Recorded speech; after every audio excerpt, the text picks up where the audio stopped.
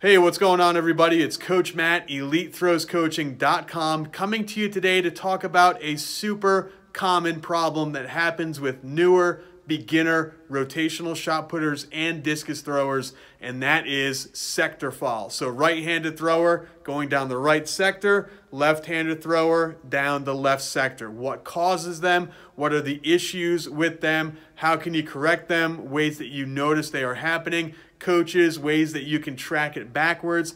All of that is going to be explained in this video. But before we get started, as always, I just want to remind you, if you have not done so already, please subscribe to the channel. Click the subscribe button down below and also make sure to click that notification bell that pops up along with it. That way you get notified of any new video that comes out on this channel. We're doing videos like this every week. There are question and answer videos by email that I do as well. Uh, there are also video analysis uh, videos that go up on the channel randomly from time to time. All good stuff, all free to help you out. So make sure to stay in the loop. Click that subscribe button, click that notification bell. That way you get notified. Makes sense, right? So let's do this. Let's take you out in the circle. We're going to start talking to you more about sector fouls, what causes sector fouls, and ways that you can prevent them from happening. Okay, so everybody at some point in their career as a thrower has had sector foul issues. So sector fouls most commonly are caused because you have an improper or a bad alignment with your feet in the power position. So if you think back to years ago on this channel when we were talking about power position and how to get your feet set up, the way that I like to start my athletes nowadays, especially if I'm at a camp and I'm doing a big group of athletes at once, is I like to start them with their feet together facing down that throwing sector. So it looks like this right in the middle of the toe board, feet together, looking straight down the throwing sector. From there, what I'll do is I'll have them take a step straight back with their power leg. So if you're right-handed, it's your right leg. Left-handed, it's your left leg. But we're going to have them actually take a step straight back, pretending like they're on a balance beam. Take a step straight back, okay? Make sure everything is balanced. Make sure everything is balanced. Okay, so both feet are straight. They're looking straight ahead. Everything is balanced. From there, we have them pivot, rotate back by pivoting on their toes. So it looks like this. We go from balance, boom, rotate on the toes. And if you look down, what you can see, you can see it really well with the contrast between my black shoes and socks and my ridiculously white legs. It hasn't really been too sunny out up here in Rhode Island. We're getting a lot of rain. That's my excuse for not having absolutely zero color to my skin right now. But if you notice, my feet are lined up in sort of a instep toe position. So the instep of my right foot, my power foot as a right-handed thrower, is lined up with the toe of my left foot, the toe of my blocking foot. And what this does is this allows you that when you throw, you're able to turn your feet and turn your hips, turn your body all the way down the throwing area. So you can be here throwing this way and actually be lined up. All right, so that's all well and good, but what does that have to do with right sector fouls for right-handed throwers, left sector fouls for left-handed throwers? What does foot alignment have to do with that? Well, if your feet are not aligned in that proper position, you are not going to be able to get your hips all the way down the middle. And where the hips are pointing in the throw is where the shot or where the discus is going to go. So if your hips are pointing down the right sector line, that's where the shot and the discus is going to go, down the right sector line. Well, if I set up on that balance beam on that right sector line, and then I pivot back like I did before, now I have improper alignment. So if I don't have that good heel-toe relationship, if I have sort of an even relationship where both feet now are even toe-toe instead of heel-toe or instep-toe, and I go to throw and turn my feet and point down the middle, the farthest I'm going to be able to get while keeping my balance is right sector. And more than likely, that's going to lead to a right sector foul. Now, here's the thing that you have to con consider. When you're doing a full discus throw, when you're doing a full rotational shot put throw, where does the power position occur? Okay, it's not in the very back of the circle. If we're in the very back of the circle here, we're at the start of the throw. Okay, it's not in the middle of the throw as we're driving across that circle. It's not the mirror turn position. The power position is at the very end of the throw. It's literally what starts that kind of standing throw, power throw position is when this left foot touches down and when the left foot touches down in the proper spot. Okay, so this is where it all begins. This is where you start to actually, you know, go through that throwing motion, if you want to call it that, of the throw. You're done turning out of the back, you're done driving across the circle, the mirror turns over, now we're in the power position. It's at the very end of the throw. So literally, everything that can happen before that position, any mistake that happens, is going to sometimes cause the feet to not be aligned correctly. You need to be able to look back on the throw. You need to be able to watch a video, watch it in slow motion, whatever you need to do. You need to be able to find out what in the beginning of the throw caused the feet to be misaligned near the end of the throw. All right, so if the number one cause of sector fouls is a bad heel-toe alignment in the power position, we need to then ask ourselves what is actually causing that bad heel-toe alignment to occur or instep-toe alignment to occur. So say for example, you've taught your kids since day one, you have to be in that heel-toe relationship.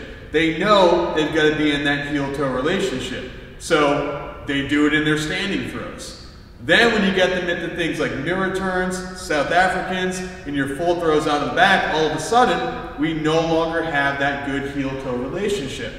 If they know it needs to be there, and it's not happening naturally in their throw, something before that point caused that to happen. The number one cause of the bad heel-toe alignment that I have seen with all of my throwers at some point is that they over-rotate coming out of the back of the circle. Now we've already done a previous video, I'll put the link right above, about over-rotation and what causes over-rotation. But over-rotation, if that happens, the athlete turns out of the back and they're over-rotating into the side of the circle. They're not driving down the middle of the circle, they over-rotate.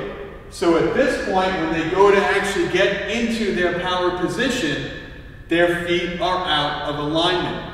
Now there are many causes of over-rotation. We already did that video a few weeks ago, but you can see the issue here.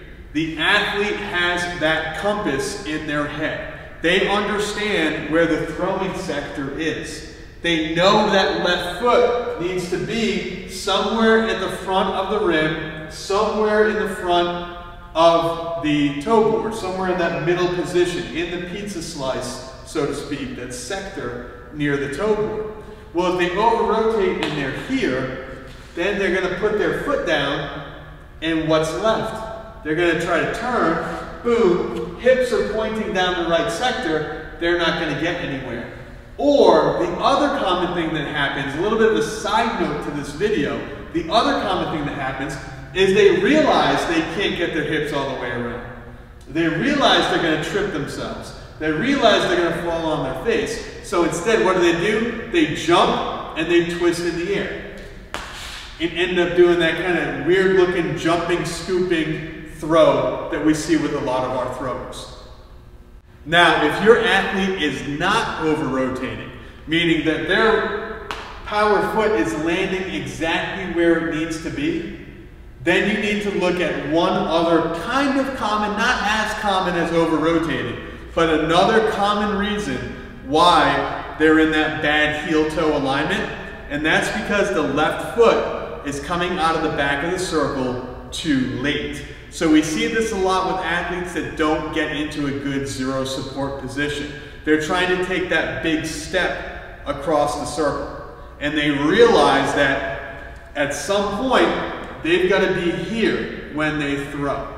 Well, what happens if the left foot comes out of the back of the circle too late? If they're not driving across that circle, if they're trying to take a really big step across that circle, that left foot now has to travel from the back of the circle to the front of the circle basically as soon as the right foot touches down in the middle. So it looks like this. They turn onto the back, they take the step, and then they barely get the left foot off the ground. It looks like this, where it's just this little kind of step. Okay? There's no drive, it's just a step.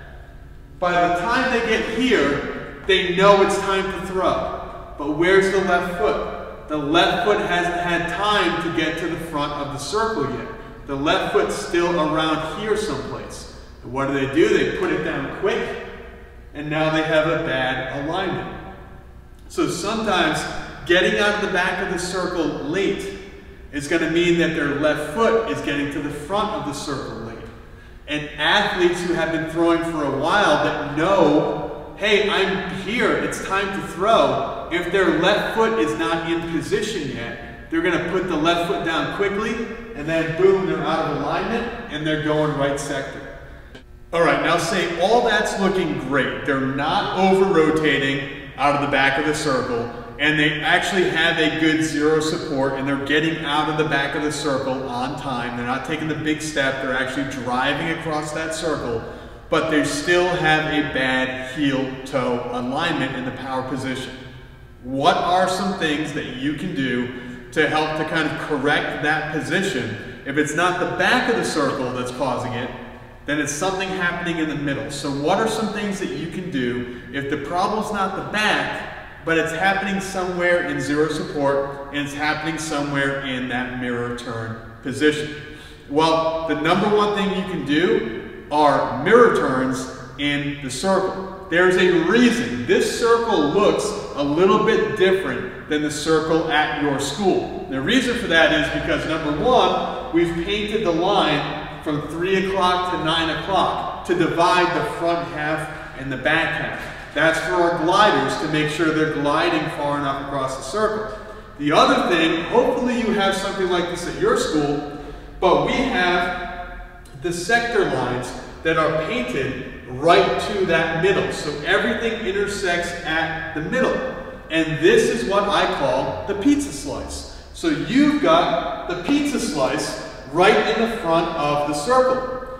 This needs to be your target on mirror turns. Okay, so mirror turns, it's sometimes tough to see. If you are just on a bare piece of cement, like a sidewalk or a parking lot, and you don't have the lines painted, your athletes sometimes don't understand where they should be putting their feet. So with mirror turns, if I do have an athlete that's having trouble over rotating, you can see how worn down the middle of the circle is right here. We'll have them actually start in that standing throw position, in that power position. Shot, discus, does not matter. Then we're going to have them mirror turn to here.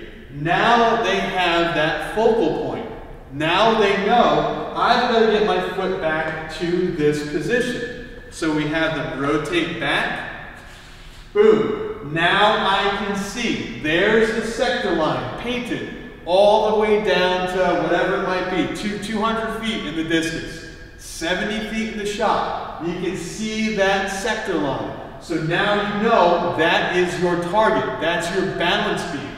We want this foot inside the sector line in that pizza slice. We're here. Boom.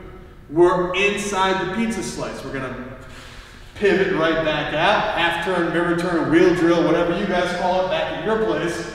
But we're looking for that target inside the pizza slice, inside that left sector line. Okay, now what if those look good? So Power position, mirror turn, looking pretty good. Back of the circle, looking pretty good. Where could the error be happening? Well, maybe it's in their South African when they're driving out of the back of the circle. If it's not the very back, if it's not the very front, and if it's not the middle, it's kind of that zero support phase where things are getting a little screwy. So something you can do, we've shown you in previous videos a stop glide, where you glide out of the back and you stop in the power position. You can do the same thing with your South Africans. You can do the same thing with your full throws or your full turns as well, and sort of do a stop South African or a stop full rotation. Come out of the back, boom, we're getting ready to drive across that circle, we drive, and then we stop. And then we check. Okay, pretty good alignment. Do the same thing in discus. We're here, turn out of the back, boom, we're driving, boom. Okay, let me look down. That's pretty good, a little bit too wide, but pretty good. Then you can do that with your fulls. You can stop in the power position. Shot, we're here, we're coming around, boom. Okay, pretty good, pretty ugly, but pretty good. Discus, we're coming around here, boom. Okay, pretty good. I'm in the pizza slice, but you can stop when you get to that power position. Have the athlete look down at their feet and then see what needs to be worked on. All right, this video has gone on long enough. Thank you guys so much for sticking around, checking it out, watching it, learning more. I really appreciate it. Guys, just like I said before, click that subscribe button down below.